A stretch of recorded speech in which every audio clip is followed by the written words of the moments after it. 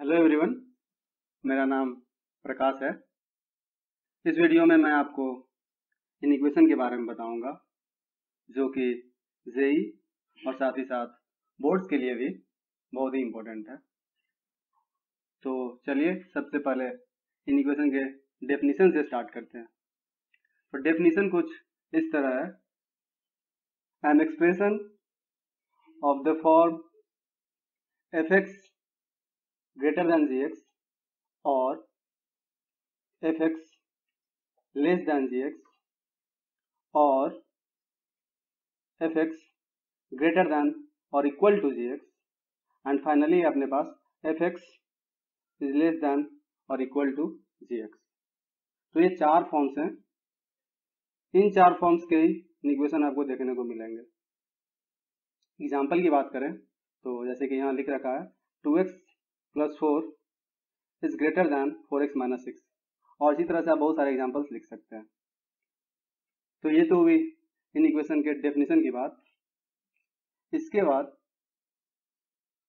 हम लोग कुछ जनरल रूल्स की बात करेंगे, जो इन इक्वेशंस के लिए अप्लीकेबल है। तो सबसे पहले रूल नंबर वन की बात करते हैं। रूल नंबर वन है a term can be transferred from LHS to RHS with a change in its sign.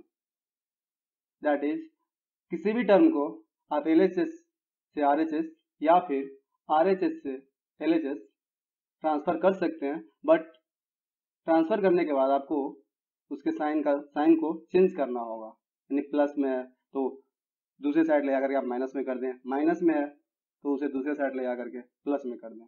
जैसे एग्ज़ाम्पल की बात करें तो अपने पास two x plus four is greater than four x minus six inequation दिया हुआ अब मैंने क्या किया?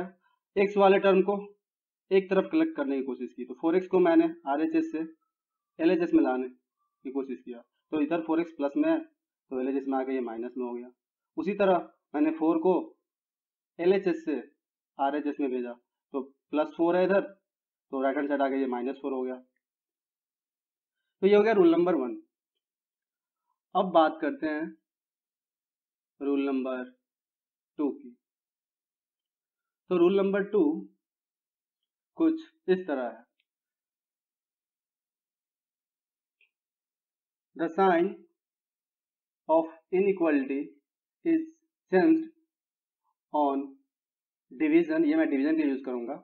और multiplication with a negative number यानी, अगर किसी इनक्वालिटी को हम किसी निगेटिव नंबर से डिवाइड करते हैं तो इनक्वालिटी का जो साइन है, वो चेंज हो जाएगा। चेंज होने से मेरा मतलब है, अगर वो ग्रेटर दैन है तो निगेटिव नंबर से मल्टीप्लाई या डिवाइड करने के बाद वो लेस दैन हो जाएगा। सिमिलरली अगर लेस दैन है तो वो ग्रेटर दैन हो जाएगा। अगर निगेटिव नंबर से मल्टीप्लाई करते हैं तो। एग्ज़ाम्पल की बात करते हैं लिखा है? जैसे minus two x is greater than minus ten है। अगले स्टेप में मैंने माइनस टू से दोनों तरफ़ डिवाइड किया। तो पहले ग्रेटर देन इक्वलिटी का साइन था, अभी मैंने इसे लेस देन कर दिया। यानी x is less than minus ten upon minus two. तो अपना फाइनली सॉल्यूशन आ गया एक्स लेस देन फाइव। तो मैंने नेगेटिव नंबर से डिवाइड किया है। अगर यहाँ पॉजिटिव नंबर से डिवाइड करते हैं तो इनइक्वालिटी के साइन में कोई भी फ़र्क नहीं पड़ेगा। ये ध्यान रखना है आपको। तो ये तो हो गई कुछ रूल्स की बात, जो इन इक्वेशंस के लिए अप्लीकेबल है। अब जो फाइनली अपना एम है मेनली वो ये है कि कोई भी इन इक्वेशन अपने को दिया हुआ है और उसे हमें सॉल्व करना है। तो अगला हेडिंग अपना यही रहेगा।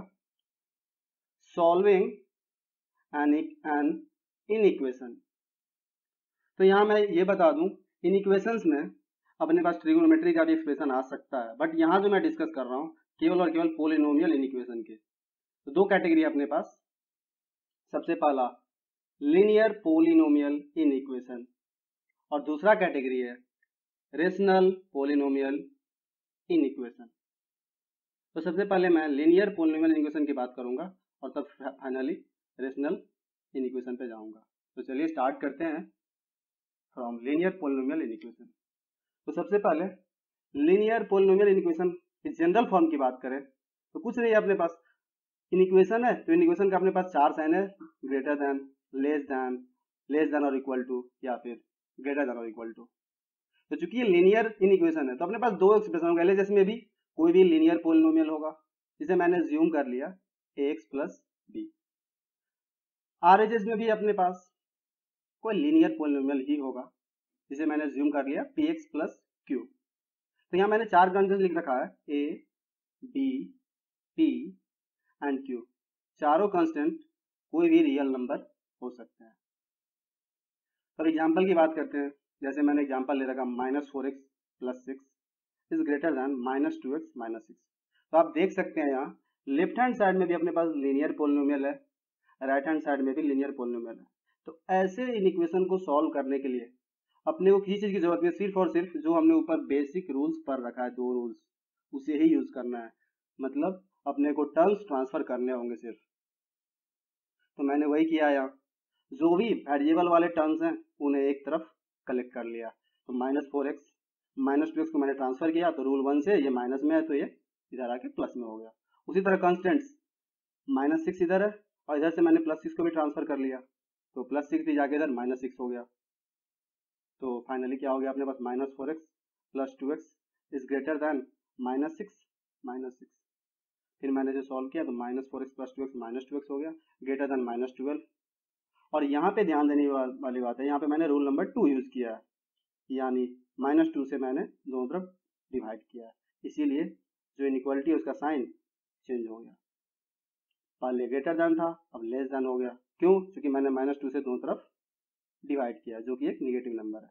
तो एक्स लेस देन हो गया minus twelve upon minus two finally अपने पास सॉल्यूशन आ गया एक्स लेस देन सिक्स तो ये हो गया इस इक्वेशन का सॉल्यूशन सॉल्यूशन करने से मतलब हुआ एक्स के वो सभी रियल वैल्यूज़ मैंने निकाल लिए, जो इस इक्वेशन को सेटिस्फाई करते होंगे। तो इस इक्वेशन इन इक्वेशन के सॉल्यूशन क्या आ गया? एक्स लेस देन सिक्स यानी सिक्स से छोटा, मैं कोई भी रियल नंबर लूँ तो वह रियल नंबर इस इक्वेशन को सेटिस्फाई करेगा। इसी तरह से कोई भी लीनियर इनिक्वेशन हो तो सिर्फ़ और सिर्फ़ आपको ये दो रूल्स ही यूज़ करने की ज़रूरत है। आप आसानी से सॉल्व कर पाएँगे। तो ये हुई लीनियर पोलिनोमियल इक्वेशन को सॉल्व करने की बात। अब अपना सेकेंड है कैटेगरी रेशनल पोलिनोमियल इक्वेशन तो अगर इसके जनरल फॉर्म की बात करें तो इसका जनरल फॉर्म कुछ इस तरह है। P x divided by q x is greater than और इक्वल टू ज़ीरो जहाँ पी एक्स और क्यू एक्स जो है, वो कोई भी पोलिनोमियल्स हो सकते हैं, कोई भी पोलिनोमियल्स बट यहाँ ध्यान रखने वाली बात यह है कि चूँकि क्यू एक्स डेनोमिनेटर में है, इसीलिए q x can not be zero q x जो है, वो ज़ीरो नहीं हो सकता।